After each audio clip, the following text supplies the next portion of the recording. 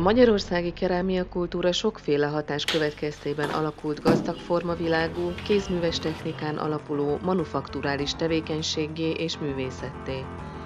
A különböző impulzusok tájegységenként eltérő, mégis jellegzetesen magyar díszített kerámiát eredményeztek.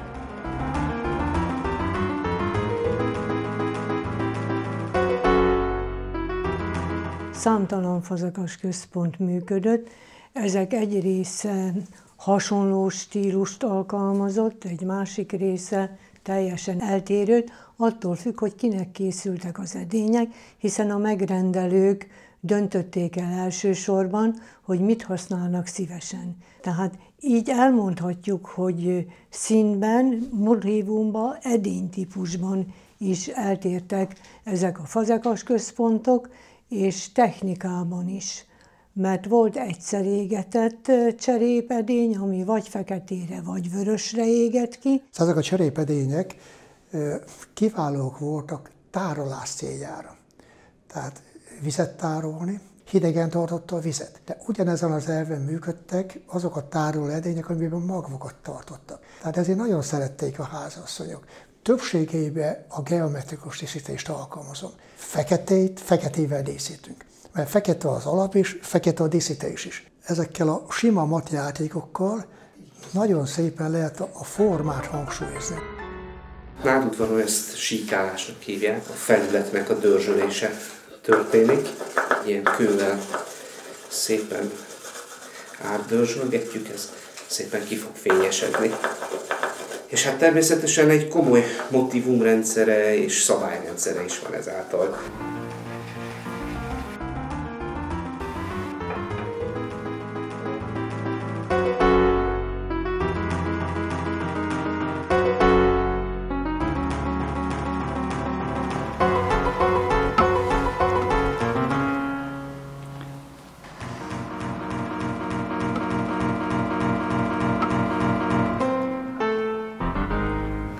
Tehát most lezártuk a kemencét, ez a redukciós égetés eljárásnak a lényege. Megfelelő hőfokon elvonjuk az oxigént a tűztől, és így lehet elérni ezt a szép fekete szint, amit remélhetőleg holnap reggel meglátjuk.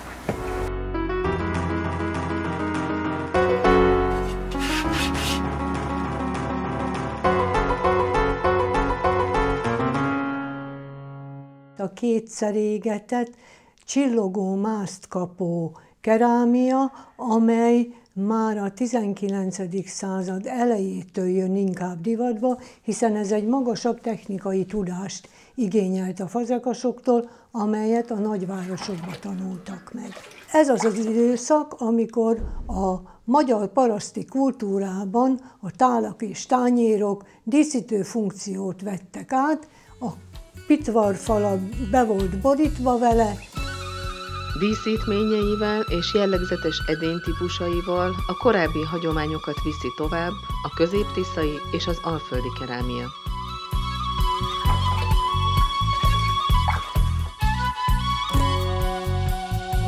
Az első égetés után így néz ki. Tehát vörösre ég ott, ahol nincsen befestve alapozó festékkel. És ezután következik a máznak a rávitele, és az kiég, és akkor kapja meg ezt a végső állapotot.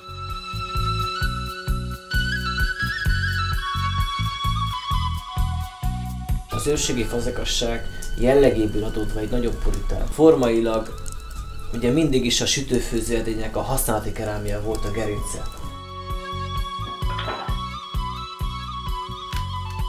Ez egy hagyományos őrségi bogyakemence, kavarog a, a tűz, és közben elvégzi a dolgát, és az agyagból cserepet csinál. Kénytelen volt őrizni a fazekas, mert a tüzet is rakni kell. Volt egy nagyon komoly családi, közösségi összetartó eleje, tehát maga a kemence, mint, mint szimbólum, a tűz, mint szimbólum, az azért képes volt összekapcsolni az embereket. A fazekas mesterség tudásának átadása részben családon belül történik. Híres fazekas dinasztiák a mai napig is működnek Magyarországon. Igen, én is a Fazekas család sarja vagyok, de a Fazekas családban második gyermekként születtem. Én is édesapámtól tanultam a mesterséget. Nem erőltette egyáltalán ránk, hogy tanuljuk meg a mesterséget, annak ellenére minden megtanultuk. Egy ilyen családban az első játék az agyag. Van egy csomó olyan dolog, én azt gondolom, ami számunkra természetes, mert láttuk, láttam dolgozni az édesapámat, Nyilván láttam még dolgozni az én nagypapámat is, és azok az apró trükkök, amiket egyébként nem lehet tanulni, az egy ilyen családban természetessé válik. A nagypapám mindig azt mondta nekem, hogy kisfiam, akinek egyszer az agyakba ragad a keze, az nincs menekvés. Én szerintem ő is így járt, de én is, úgyhogy ez ilyen, ez megmaradt tényleg egy ilyen nagy nagy szerelemnek.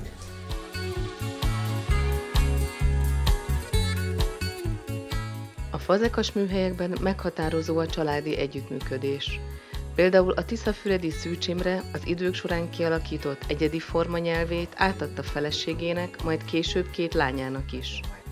Ők saját stílusban, ugyanakkor egymást kiegészítve dolgoznak együtt a családi műhelyben. Régen a dinasztiában a díszítés mindig a feleségek rárult. Tehát az én nagymamám is csodálatosan dolgozott a kavicsal, ő mintázott, de így volt ez már a én nagymamám idejében. Manapság iskolai keretek között szerezhető meg a szükséges képesítés. Népi kézműves szakiskolák működnek, ahol a hagyományos kézműves technikákat sajátíthatják el a tanulók. Maga az iskola önkormányzati fenntartású iskolaként indult 1993-ban, és én tíz éve tanítok itt és én vagyok jelenleg a fazekas szagoktatója az iskolának. Folyamatosan figyelemmel kísérjük azokat a diákainkat, akik valamilyen szinten az orosz szakmában maradtak, amit itt tanultak. Több népiparművészünk is van, és népművészeti filmmestere is. Lehetőség van az ingyenes felnőttképzés keretein belül is az élethosszig tartó tanulásra. 21 éve ülök egy irodában, és valószínűleg ezért is nagyon szeretem a fazekasságot, mert itt tényleg megnyugszom, érzem, hogy maradandót hozok létre, és szeretném ezt a gyerekeknek is megtanítani, ezt az érzést átadni. A népi fazekasok leszünk, és gyakorlatilag megtanuljuk a termékek készítését, vállalkozás ismeretet tanulunk, szakmai angol tanulunk, és mindezt a gyakorlatban tudjuk használni. Én magam is foglalkozok gyerekekkel. Egyáltalán a, megismerjék, megszeressék és megértsék azt, a, azt a, az örökséget, amiben ők léteznek. És ahogyan a, mennek bele a szakmába, élményeket szereznek a korongon, szerintem úgy azzal fertőződnek meg. Számos helyen működik tudományos háttérrel rendelkező kerámia gyűjtemény, önálló fazekas múzeum és a mesterséget bemutató tájház.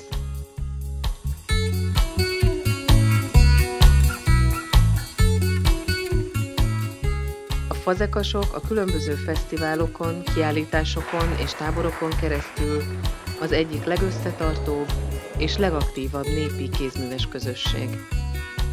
Én néprajzosként annak örülök, hogy a funkció elkezdett visszajönni. Például az utóbbi 10-15 évben az, hogy nagyon sokan kemencét építettek, hogy kinti sütőberendezéseket építettek az udvarukba vagy a házukba, az rögtön kívánta magával, hogy olyan edényeket is használjanak, ami a kemencéhez passzol, és ezeket a sütő és főző edényeket egyszerűen megmentette.